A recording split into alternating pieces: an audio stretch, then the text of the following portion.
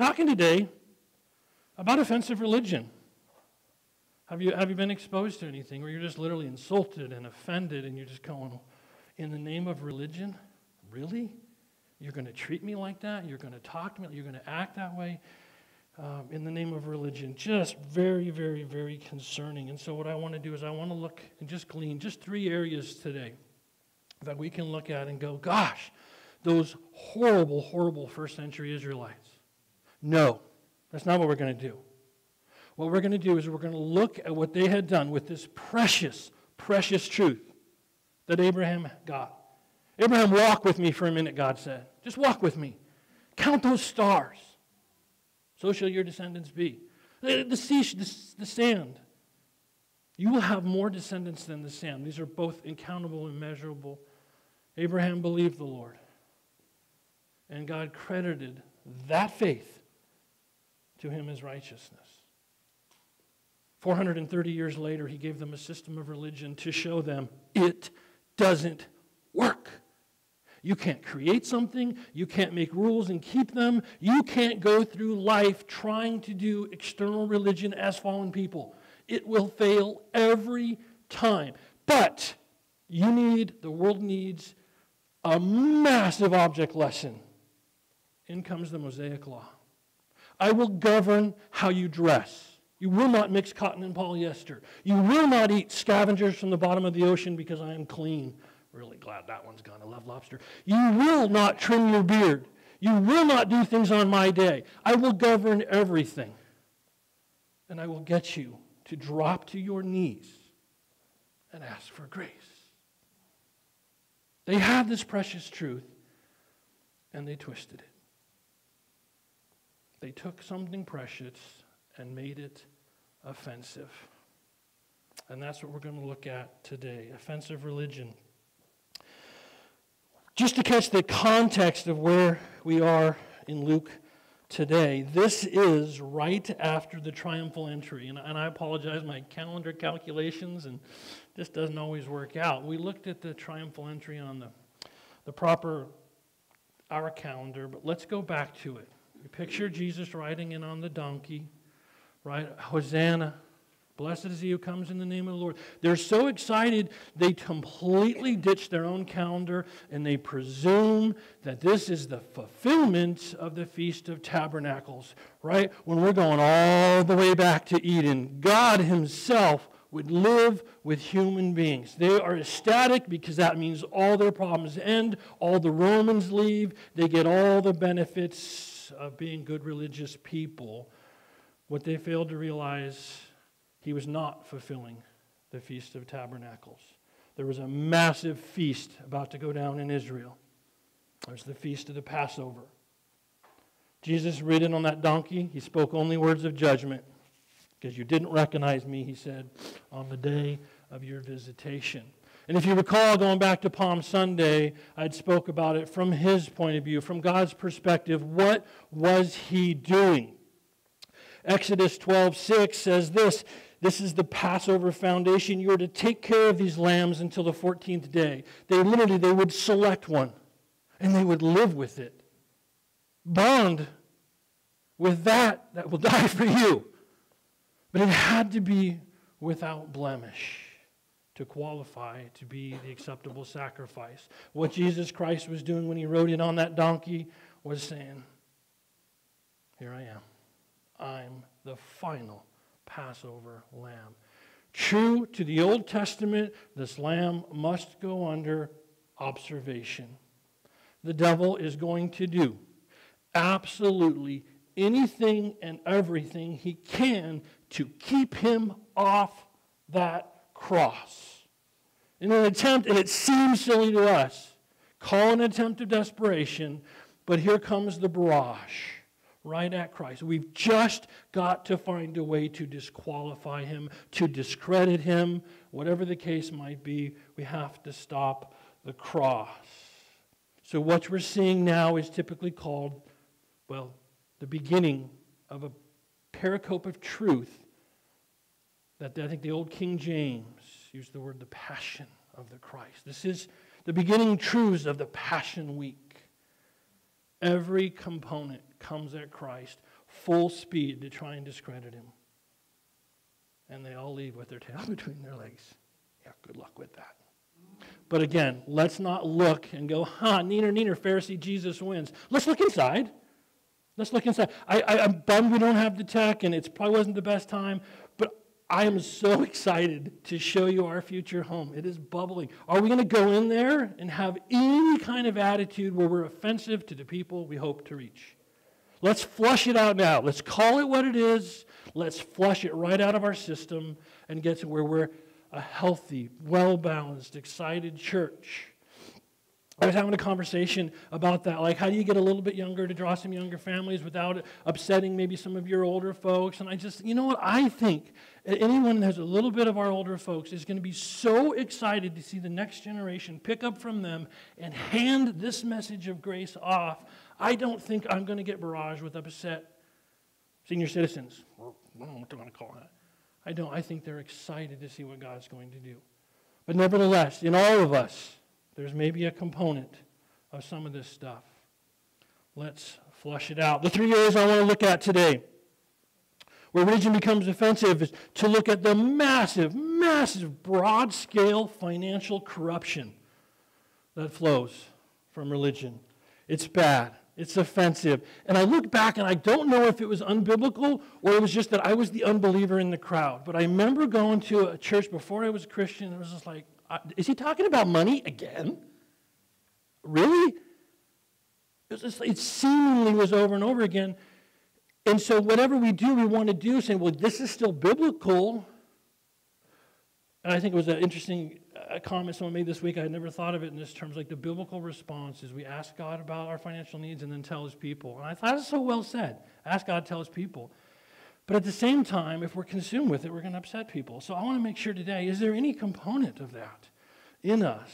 Financial corruption in religion, billion dollar a year industry, it's huge. And the second area where religion is offensive is when there is a profound and serious lack of grace. Plenty for me, none for thee. Here's the line in the sand. When you're ready to clean up, then join us. The lack of grace send people going 100 miles an hour the other direction. And the third area, politics. Politics. Probably heard the phrase before don't talk politics and religion. I'm telling you, nine out of 10 contexts, they can be the same thing if you're not careful. But politics. Are we going to do what's popular or are we going to stay true to the word? So we want to make our new home very welcoming. But are we going to hold to this or are we going to have those meetings and go, well, you know what? Make the crowds really. No. Through it all, we are not going to let the crowds, whoever we want to reach, dictate the terms under which we function. So let's take a look today at some offensive religion in the Gospel of Luke. Luke 19, 45, when Jesus entered the temple and began to drive out those who were selling, saying to them, It is written, and my house shall be a house of prayer. You've made it a robber's den. And he was teaching daily in the temple. The chief priests, scribes, and the leading men among the people were trying to destroy him. How's that for some fond religion? We're going to destroy you. wow. They couldn't find anything that they might do, for all the people were hanging on to every word he said. On one of the days, while he was teaching the people in the temple and preaching the gospel, the chief priests and the scribes with him, elders, confronted him. They spoke to him, saying, Tell us, by what authority you're doing these things? Who's the one who gave you this authority? Jesus answered and said to them, I will also ask you a question, and you tell me. Was the baptism of John, is it from heaven or from men? They reasoned among themselves, saying, Well, if we say from heaven, he'll say, Why did you not believe him? But if we say from men, all the people will stone us to death, for they are convinced that John was a prophet. So they answered and said, We don't know where it came from. And Jesus said to them, Nor will I tell you by what authority I do these things. Round one, Jesus wins. But let's go through that. What is the issue here? Was he upset about the bake sale in the foyer? No.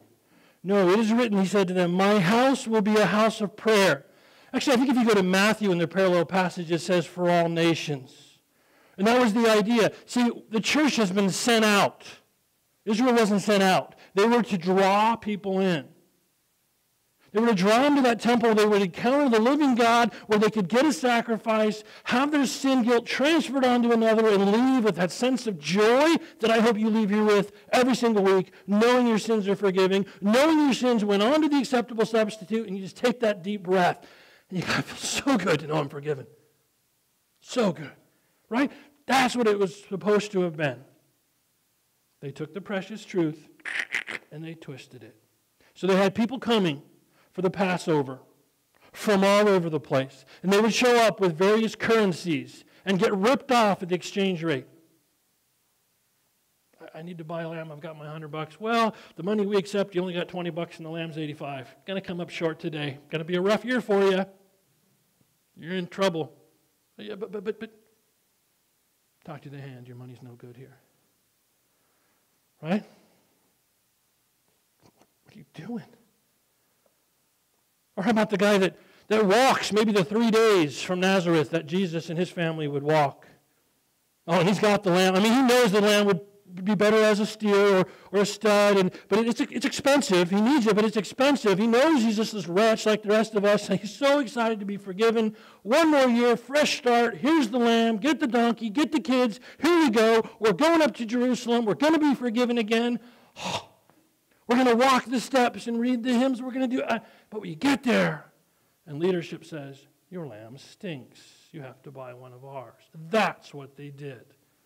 So when missionaries come and have artifacts from Africa or whatever the case may be, we're not violating any text. This was religious corruption, the likes of which is still going on.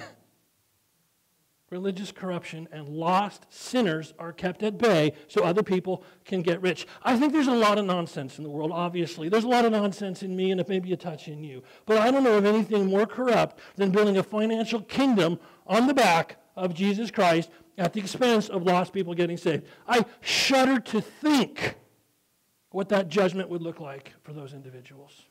I shudder to think. In fact, for all that he accomplished, he was not a, necessarily an overly divisive man. Although I think some of the German beer got to him, I don't know. But Martin Luther used, used, went nuts over financial corruption. And these things have ended, so I'm not being overly aggressive. But there's a phrase that he said When a coin in the coffer rings, a soul from purgatory springs. Give us money. Can't tell you when. Can't tell you how much longer. Bring the bucks and we'll get your folk out of purgatory. And that is something they have repented of, and, and, that was a dark area for our friends in the Catholic Church. But I want to make a point. This has been going on for generations and generations and generations. Are the Protestants any different?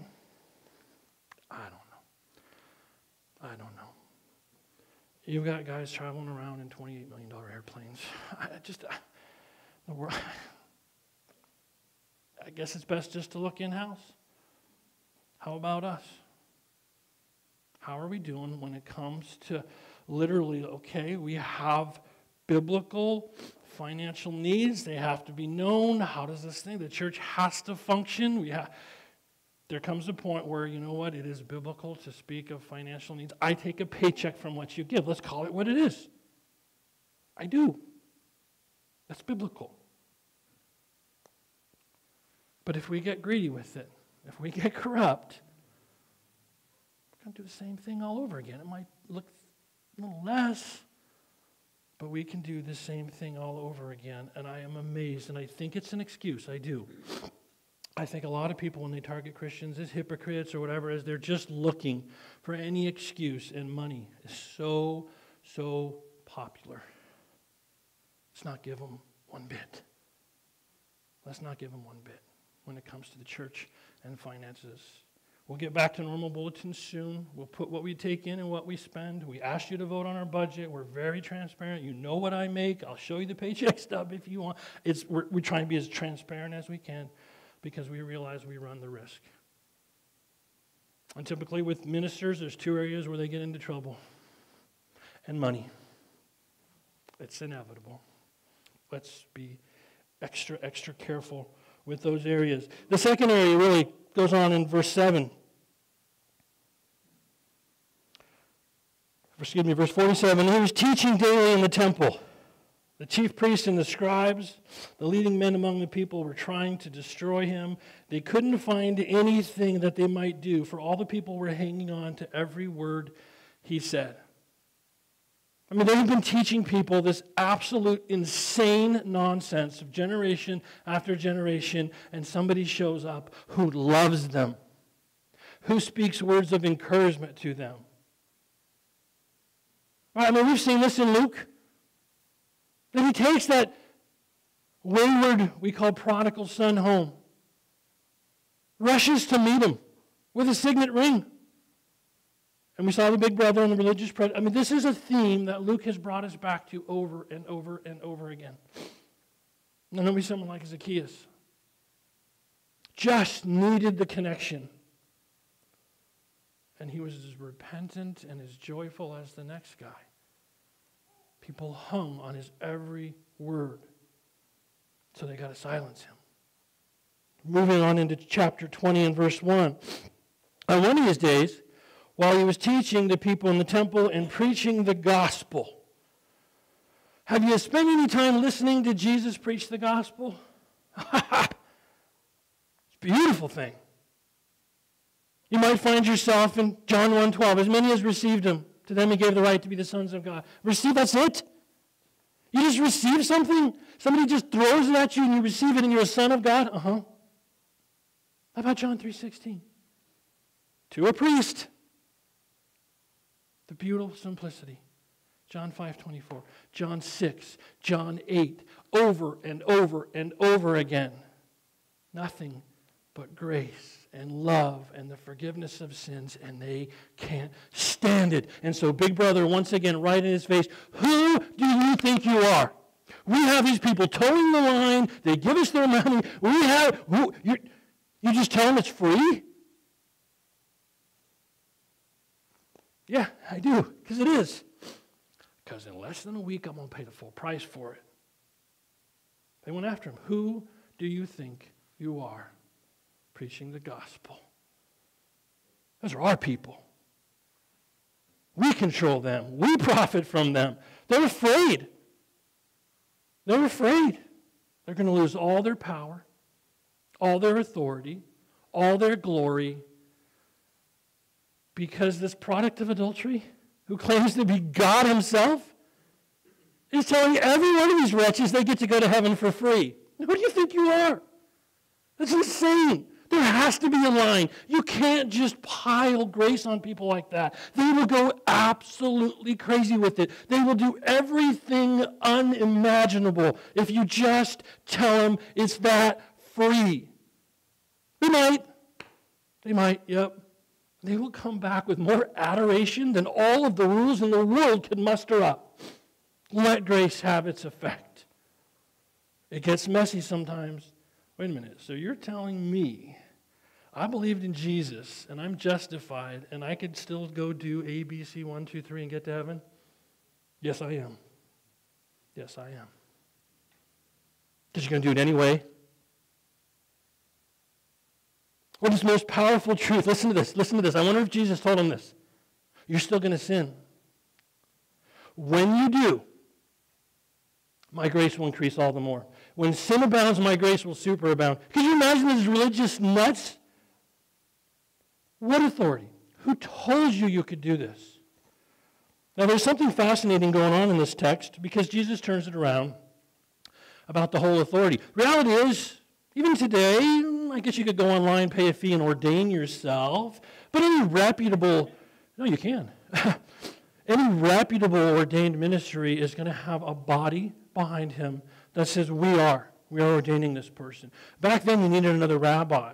So there's actually a lot going on when John endorses and baptizes Jesus. He's identifying with the people who are leaving Pharisaical Judaism and coming to this new movement. There's a lot going on, but he's also, in a sense, being ordained. John was very popular, which is just odd to me in a sense because he wasn't exactly as lovable as Jesus in the sense of he let him have it. He's a Baptist. That's what they do, right? no, sorry, I mean that. That was a joke for Frank because we talked about the other day.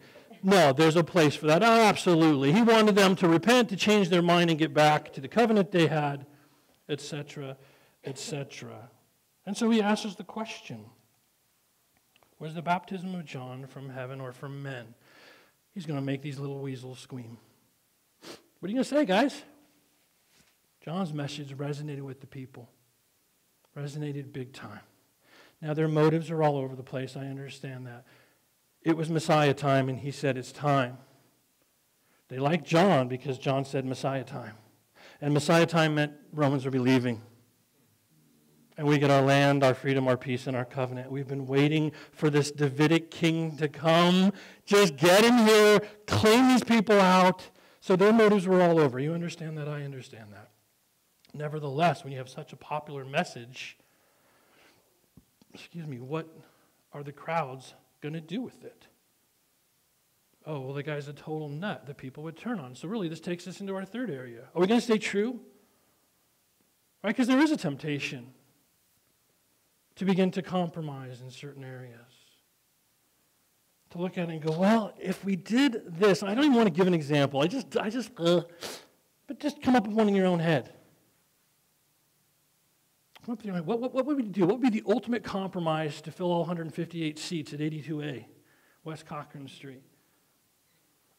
I want to do it by being biblical, contemporary, uh, letting people come in and choose. Maybe they want to sit in the back and have a cup of coffee like they're at Starbucks and not feel like they're in a pew. I want to do everything, but everything we do, go, wait a minute, biblical or unbiblical? Or, or kind of neutral. I mean, become all things to all people. So there's like component where you have liberty to, to make these decisions and do these things. But, well, if we just do this, we, can't. We won't. We're not going to fear the crowds. So if, if we say it's for men, the people will stone us to death. I think they could have used a couple rocks upside the head myself, but that's not for me to decide. So they were convinced that John was a prophet. What are we going to do? We're going to compromise? To, we can't. We absolutely cannot compromise. And this is, this is the crazy thing. I actually think one of the most dangerous compromises we could make, it would, and it would be appealing, and most people would never know is to add in this much works. This much self righteousness. If you will turn from your sin and clean up, you come on the other side of the line. And if I was to take a sermon every week and tell you, are you really saved? Because look at what this says. And then I turn around and I offer you the righteousness you want. See, alien righteousness is hard to deal with. You're trusting in the righteousness gifted to you by another who got himself crucified for claiming to be God, very God. That's your source of righteousness. That is your only source of righteousness. You walk in his, or you turn to a legalist. That's what the crowds want. Have you heard the testimonies? Well, I was a drunkard. I came home from the war and I beat my wife and I blah, blah, blah, but now I've given my life to the Lord and I've got baptized and here's my two ministries I'm in. Served up righteousness on a platter. This is what I was, and now this is what I do. And to have some preacher come along and tell me that earns me nothing. Zippo. They don't want that. They don't add one or two little nooks and crannies to this. Okay, I'm not that bad. I got mine now, and you're right. How are we going to work on this guy over here? It's very, very dangerous. We contribute in terms of our salvation only the need for it. That's your contribution. The rest is Him and His grace all the time. So I would get caught up. I started get to my application points here, like we haven't made them. Yeah, somehow this just started over. We're full. We're full of tech issues today. What is our application? Let's walk back through some of this. So again, we could look at other people. I do, and that is my bend. And then people like John Rowe challenge me. not to be that way. they really do. We can look at other people, or we can go, what about Compass? How, how, how do people, are, are, they, are we portraying our financial needs? Let's just go through these points one more time. We have them. We do. We have some ideas on some fundraisers. We talk them through as elders. We bounce them off each other. Is there anything outside of the lines here? Are we manipulating anybody? Do you realize you give what you want out of your own heart, out of the abundance of what you decide? I was challenged. Go back to tithing. That's the work. I won't do it. I absolutely do not see the Bible telling you to give 10% of your income. I think, should you decide, it seems to be a good starting point for a lot of people. It's your business. That is your business what you give. And I, I want to make sure that I keep reiterating that because nobody should come here and feel like I want 10% of their paycheck or that the church wants 10% of their paycheck. We believe in grace giving. Having said that, have we been entrusted with a cause? Are we supposed to live life like we're on a mission? I think we are. I, I found myself telling the story last night uh, about this guy. He goes from hamlet to hamlet in the middle of the most God-forsaken jungle you could possibly imagine. Hamlet to hamlet, one pair of clothes. That's it. And he teaches the word of God. See, people don't like to be in the village, so they just disappear where they can be with two or three families in these hamlets. And he saw that. He said, You know what my ministry is going to be? And so he wrote, sent a letter out. And it got to the support staff, and we contacted the missionaries who had long since left this village.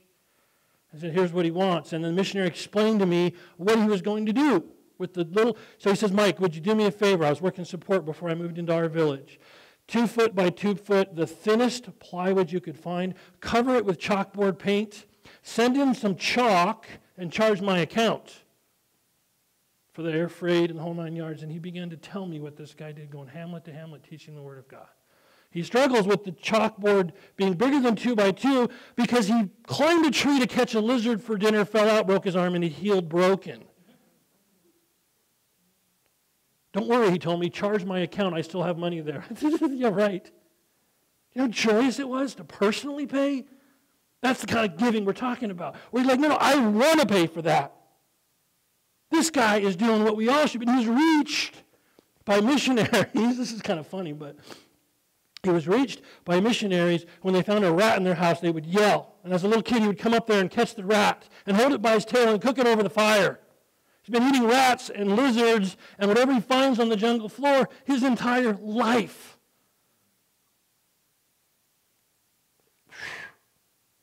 And, and we're going to run the risk of being financially corrupt when someone like that just wants fresh chalkboard and chalkboard paint to continue his ministry.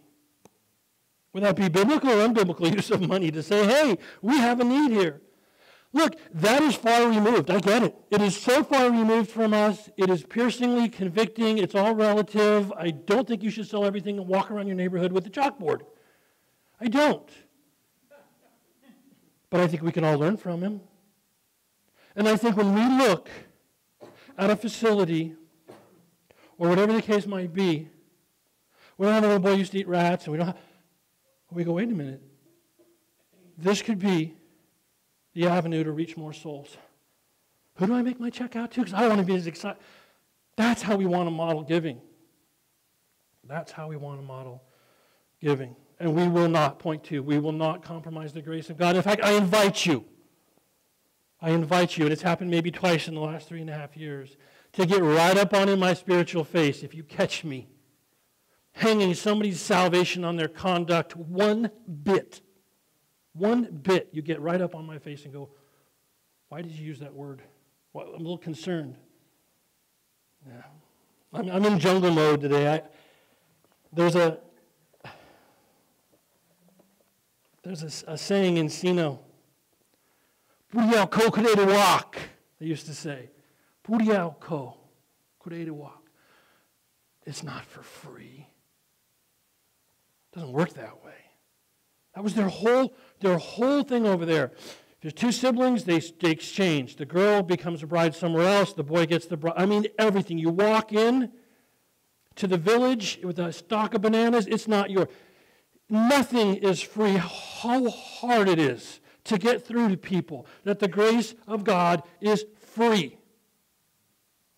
And so, yet, we're going to take one little word because I can really get you squared away if I say, you know what? If you're really a Christian, your church attendance would be better.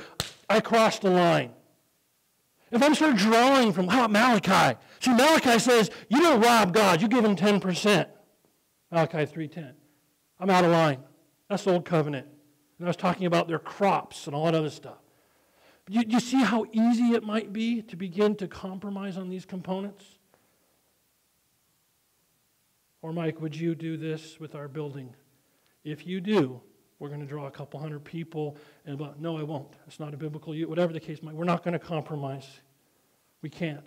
But collectively, we should be looking at this text and learning how to avoid obeying an offensive religious structure. How do we avoid? You know what it comes back to? It comes back to going right back on that mission mindset. They should not be the only ones going on to mission mindset. We all should. Why? Where's our three L's? Live on a mission. There's been a cause entrusted to us. Will we live accordingly? Love like God. Love like God. And the subpoint under that, that means you have to love without getting justice. Without getting justice. And that sounds like, what are you talking about? Here's a perfect example of what I'm talking about. Somebody calls up and they're so excited, they've finally got enough money and they want a new screen door. Happened all the time. I go out there, I show them the brochure. This is the one I want. Oh, your price is fantastic. When can I have it? Wonderful. I'm treated like royalty. This is fantastic. I come back. I always tell people, you know what? The tape measure never tells the full story. Not sure it's going to fit right. Or maybe somebody made a mistake in shipping and you watch that person turn. You're not meeting my need. You're not toeing the line, and they will turn on you, and that love was not genuine. Not one bit. It was you're the man who's going to make my wife happy and put the screen door on, and you screwed up this much, you're done. There's churches that teach people that way. I call them big brothers. We can't be that way.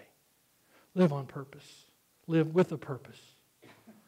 Love like God. And when it hurts, when it hurts, you look forward to the resurrection of the dead. Two powerful conversations with Jim and Larry this week. Both of them are fairly resolved to their future. And to be able to talk about the power of the resurrection, make you be willing to pay any price at all, maybe even eat that rat. Okay, I'm getting a little carried away. Father, would you give us a heart to live on mission, to love like you did. And I know the greatest commission there is is to love, and it's probably the hardest because people are stinkers like us. We need your grace to do that. Help us to live, love, and look forward. And it will all be so worth it to see these bright eyed faces in heaven going, I was a total jerk, and you guys kept right on loving me. Thank you. And so we thank you, Lord. Would you do a work in our heart? as we begin to prepare for the next chapter in this church, would you flush out of us, start with me, flush out of us anything that's going to be offensive, rude, or unbiblical, that we might honor you, Jesus, and what you've done for us. Make us a people of worship, a people of adoration, and a people of appreciation for all that we have. We understand because of your free grace, we don't have to. I pray that all of us would land with a heart that genuinely wants to. Thank you for that, Lord. God's people said, Amen. Amen.